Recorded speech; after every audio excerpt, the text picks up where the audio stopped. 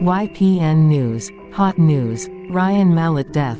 Former Arkansas and Michigan quarterback Ryan Mallett died on Tuesday. Ryan Mallett, 35, was pronounced dead at a Florida hospital after being transported from a local beach where he apparently drowned, according to multiple reports. OHHHMMM. We are shocked and saddened by the passing of Ryan Mallett, Arkansas said in a statement posted to Twitter. He was a Razorback legend with larger-than-life talent and a personality to match.